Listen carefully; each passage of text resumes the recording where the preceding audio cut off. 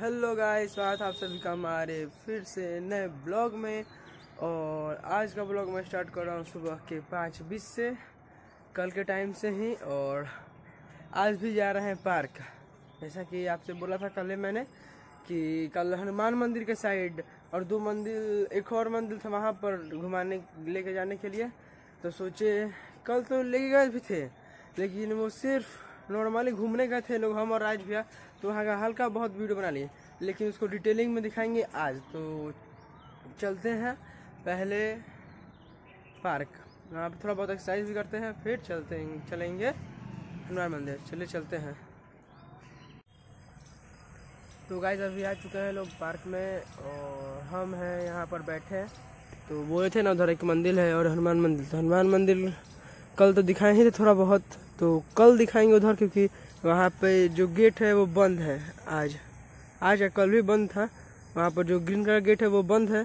तो आप लोग कल दिखाएँगे वो वाला मंदिर। अभी चलते हैं इधर वाला मंदिर। और देख सकते हैं यहाँ पर मतलब साइड साइड में पूरा फूल ही फूल लगा दिया गया है। आर्टिफिशियल नहीं मतलब सब असली है। लेकिन एक बात है, यहाँ पर सारा घास जम चुका है। पहले यहाँ पर हम लोग फुटबॉल वुटबॉल खेला करते थे। इधर साइड इधर साइड स्टंट स्टंट मारने वाला लोग आता था। और ये पता नहीं किस चीज़ का पेड़ है। कमेंट में ज़रूर बताइए गाइज़ ये किस चीज़ का पेड़ है? तो अभी चलते हैं। उधर वाले मंदिर आप लोग को लेके। तो गाइज़ अभी फ़िलहाल थोड़ा बाहर से जाना पड़ेगा। तो चलते हैं और ठीक बगल में ही मंदिर है तो चलिए चलते हैं और आपको दिखाते हैं। श्री तपोवन नाथ शिव। इसी के अंदर चलते हैं। और आप दिखाते हैं इसके अंदर।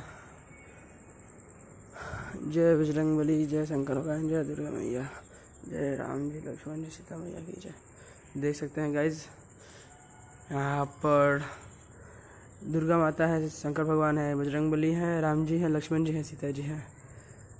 जय और यहाँ पर कोई नहीं है, अकेला अकेला है, यहाँ पर आकर बैठ भी सकते हैं आप लोग, बहुत शांत माहौल है। और यहाँ पर पीपल का पेड़ भी है। यहाँ का और यही जो मंदिर कल बोले थे, कल के ब्लॉग में यहीं पर बोले थे, यहाँ पर। और देख सकते हैं यहाँ पर साथ में शिवलिंग भी है। वहाँ पर शंकर भगवान तो हैं ही, लेकिन साथ में शिवलिंग भी है।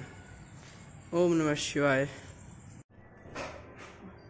तो गाइज़ सुबह पार्क से आने के बाद डायरेक्ट शाम को ब्लॉग स्टार्ट कर रहे हैं। और अभी देख सकते हैं, सात बज रहा है शाम का, और अंधेरा पूरा छा गया है। कुछ नहीं है मतलब।